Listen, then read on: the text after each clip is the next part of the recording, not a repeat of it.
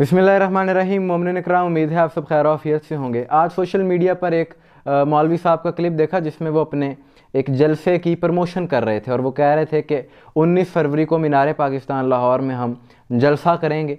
ज़ाहिर है, हर किसी का ये हक है कि अगर वो पाकिस्तान के अमन अमान को कायम रखते हुए और बग़ैर कोई शर पसंदी करे, जलसा करना चाहता है तो वो कर सकता है अगर इंतज़ामिया उसे इजाज़त देती है। अब ये हुकूमत का और इंतज़ामिया का मामला है कि वो इन्हें इजाज़त देती है या नहीं देती। लेकिन इन्होंने अपने जलसे में, अपनी तकरीर में ये बात कही कि हम मीनार पाकिस्तान में जलसे के दौरान रावजियों को बताएँगे कि पाकिस्तान तुम्हारा नहीं, पाकिस्तान हमारा है। सबसे पहले आप ये वीडियो क्लिप देखें।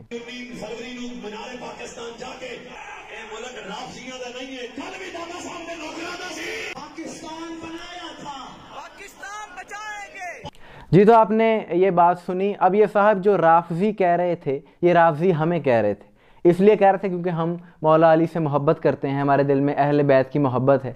फिर इसलिए हमें ये राफजी कहते हैं। लेकिन हमें इस चीज़ की कोई परवाह नहीं क्योंकि अहल सुन्नत के इमाम इमाम शाफई, उन पर भी राफजी होने के फतवे लगते रहे और उन्होंने इस बारे में बरमला ऐलान किया कि अगर अहल बैत की मोहब्बत दिल में रखना राफजी होना है तो सब लोग सुन लो, मैं शाफी भी राफजी हूँ। हमें इस चीज़ की परवाह नहीं है। लेकिन इन्होंने जब ये कहा कि पाकिस्तान राफजियों का नहीं है, फिर ये कहा कि हमने पाकिस्तान बनाया था और पाकिस्तान बचाएँगे। देखें हमारा तो नज़रिया ये है कि हम पाकिस्तान में किसी के साथ भी तफरीक नहीं करता, जितने पाकिस्तान में रहने वाले हैं। सब बराबर के शहरी हैं, सबको बराबर के हकूक़ हैं। कोई किसी से कम, ज़्यादा नहीं है, लेकिन अगर आप इस तरह की बात करेंगे कि पाकिस्तान तुम्हारा नहीं, पाकिस्तान हमारा है तो फिर तारीख़ी हकीकत यह है कि पाकिस्तान बनाने वाले भी शीत है और पाकिस्तान बचाने वाले भी शीयत बानिय पाकिस्तान कायद अज़म का ताल्लुक फ़िका जाफरिया से था। और अगर आप इंटरनेट पर कभी भी उनके जनाजे की तस्वीर निकालें, जहाँ भी कायद अज़म का ताबूत होगा, उसके ऊपर मौला अब्बास का अलम होगा। और ये अलामत है इस चीज़ की, क्योंकि अगर कोई शख्स शिया ना हो तो उसके जनाजे पर, उसके ताबूत पर अलम नहीं होता।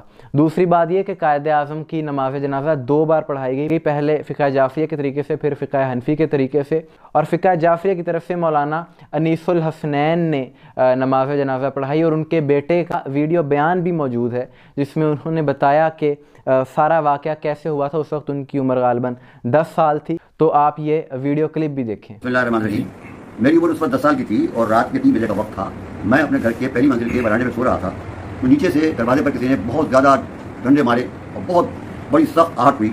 घबरा कर मैं उठा तो मैंने ऊपर से ये देखा, चांदी रात थी। तो मैंने देखा कि तीस चालीस के करीब सिपाही हैं वर्दियों में और चार पाँच पुलिस की गाड़ियाँ हैं जो खड़ी हुई हैं और वो लोग दरवाज़ा पीट रहे हैं। तो मैं घबरा गया। मैंने पूछा, भाई, आप क्यों आए? क्या काम है आपको? यहाँ किससे मिलना है? तो उन्होंने मुझसे कहा कि हमें मौलाना अनिसुल हसनैन साहब से मिलना है। मैंने कहा जो रात के तीन बजे का वक्त है, वो आराम फरमा रहे हैं। तो मिलने का वक्त नहीं है। तो उन्होंने मुझसे कहा कि देखिए, हम मोहतरमा फातिमा जिना के भेजे हुए आए हैं। कायद आज़म मोहम्मद अली जिना का इंतकाल हो गया है।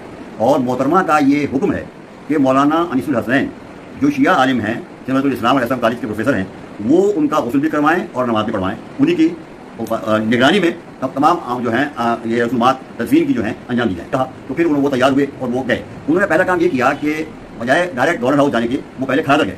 और खादर में हाजी कल्लू साहब वहाँ पर उस जमाने में मौजूद भी थे मस्जिद के और वो गसाल भी थे। और वो यूपी के थे और हमारे उम्र के थे और पुराने उनके दोस्त भी। उनको उठाया और उनसे कहा कि भाई चलो खाजा में तकाल हो गया, तुम्हें गसल देना है।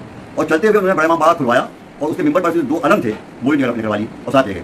वहाँ उन्होंने जाकर हाजी कल्लू ने उनका गसल दिया, वाली साहब मौजूद थे। वो वाली साहब ने उनका गसल कमल कराया और गवर्नर हाउस के अंदर सुबह को नौ बजे तमाम ममालिक के जो सफीर सुबह उस वक्त थे, वो और तमाम गुजरा नाजुद्दीन अब्दुल्ला बशर लियात अली खान साहब, मरहूम सही ये तमाम जितने भी अमला था सब तकरीबन के करीब एक हज़ार आदमी थे लान में, जिन्होंने मेरे भाई के पीछे नमाज़ पढ़ी काज आज़म की, ये पहली नमाज़ थी।